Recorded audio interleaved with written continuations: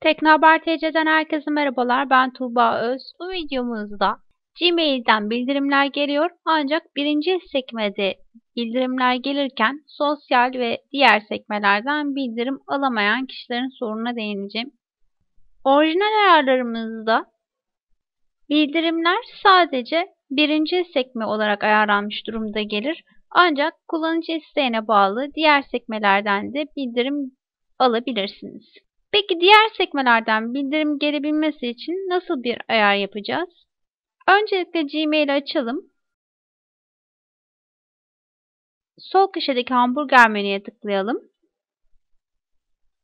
En dibe inip ayarlara tıklayalım. Ayar ekranında mailimize tıklayalım. Ayarlarda etiketleri yönet menüsüne tıklayalım. Burada karşımızda hemen Gmail etiketleri çıkıyor. Birinci sosyal tanıtımlar, güncellemeler, forumlar şeklinde.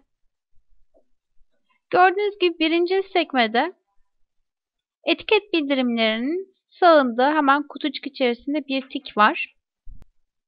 Aynı buradaki gibi diğer sekmelerimizde de etiket bildirimlerine tik atarsak artık diğer sekmelerimizde de bildirim gelecektir. Örneğin güncellemelere tıklayalım. Karşılığında bir tik attım ben etiket bildirim olarak. Forumlar bir tik bırakalım.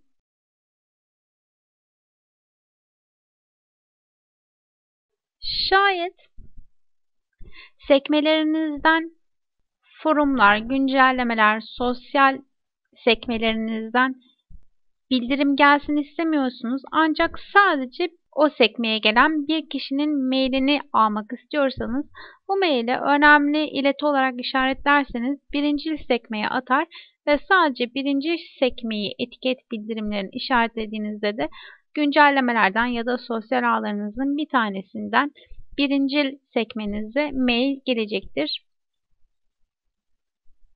Birinci sekmeden bildirim almak istemezseniz kapatabilirsiniz. İzlediğiniz için teşekkür ederim. Sonraki videolarımızda görüşmek üzere. Bizi sosyal ağlarda takip etmeyi unutmayın. Hoşçakalın.